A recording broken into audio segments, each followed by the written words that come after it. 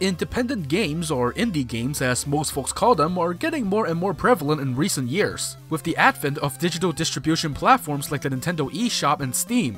In fact, for some it might be a bit too prevalent, and trying to sort through hundreds of games with varying quality can be a bit of a chore sometimes. But nevertheless, it's always relaxing to take a break from large AAA game releases and enjoy a smaller scale indie game. Whether it has a unique art style, gameplay mechanic, or is simply a love letter to the games of yesteryear. There's lots to enjoy in the indie space, and honestly I don't understand people who just brush them off, or see them as always inferior to games made by AAA studios. I mean, bigger isn't always better. That being said, getting noticed in an environment where literally anyone can make and release a game of their own is admittedly quite difficult. Not every game can be a smash hit, but to indie developers there's probably nothing more satisfying than seeing their successful games be appreciated by so many people, even when pitted against big budget efforts. And hey, why stop at having a successful digital game where you can flip that D upside down and turn it into a pidget...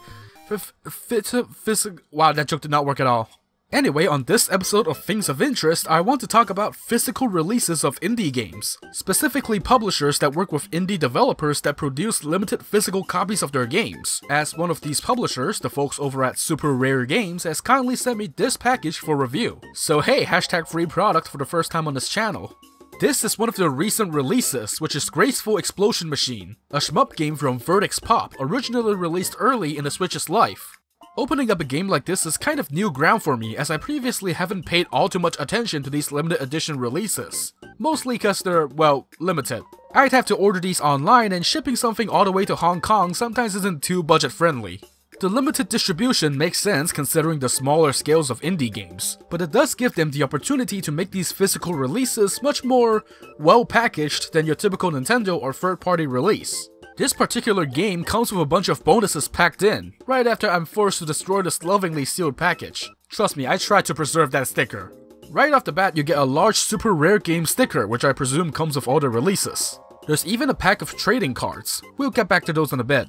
And here it is, Graceful Explosion Machine, labeled as the 33rd release by Super Rare, which I'm sure will give Switch collectors intense nightmares.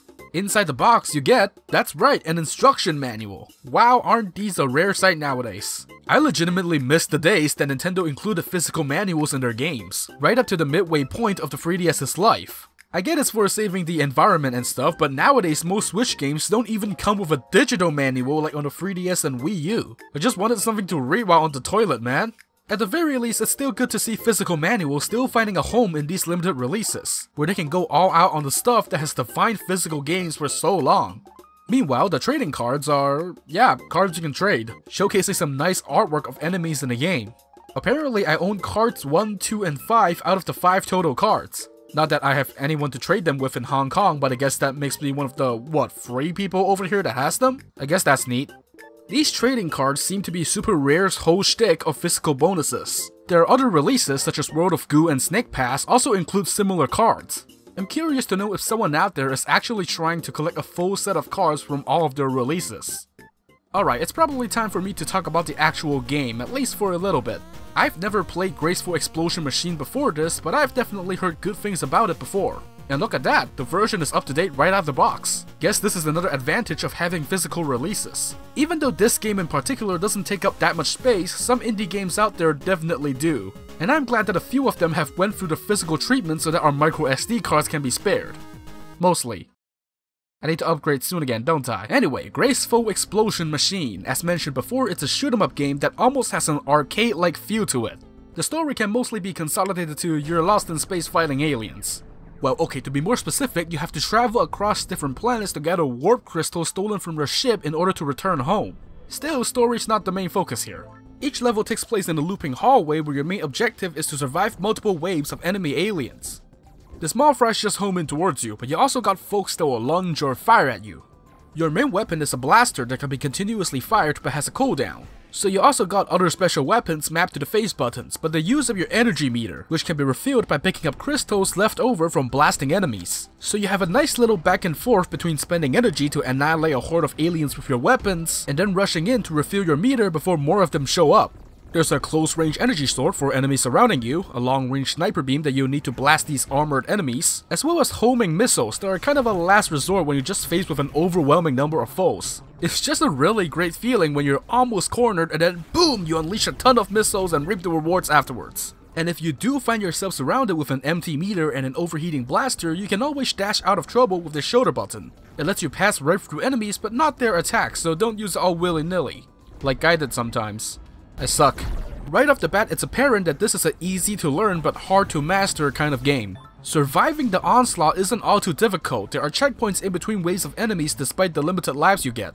Getting a good score by chaining enemies through combos on the other hand is the real challenge. My first time through the first world was not my best performance. The best ranks in the game are obtained by chaining a full combo of enemies from start to finish, and clearly I am not prepared for anything close to that yet. Still, even though shoot 'em ups aren't usually my kind of game, I did have a good time with this one. I enjoy indie games with simple premise but in-depth gameplay mechanics, and this is definitely one of them. I can see myself returning to this for some quick intense sessions of alien blasting. And above all, it's just great that the devs got their game released physically in this form. It's pretty common to think of physical games as a realm exclusively inhabited by big budget games, but I bet everyone has that one favorite indie game that they love to get physically, if at least only as a sort of memorabilia. And different publishers like Super Rare have been making that happen.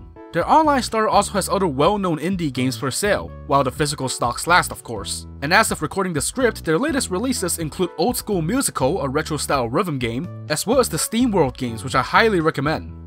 They're also selling booster packs with a trading card, something I just noticed while writing the script, nice. And that's about it for this nice physical release of Graceful Explosion Machine. You know, I'm just glad that these are an option at all. You could always just download these games on the eShop too if you're not big on the limited physical release thing, but I imagine decades in the far future when the Switch eShop is defunct and even re-downloading digital games becomes a near impossible task, these can still be a viable legitimate way of experiencing these games. No game deserves to be left behind, and thank you to Super Rare Games once again for sending this my way. Now if you'll excuse me, I'll give this game its rightful place on my shelf of Switch games with completely mismatched box spines.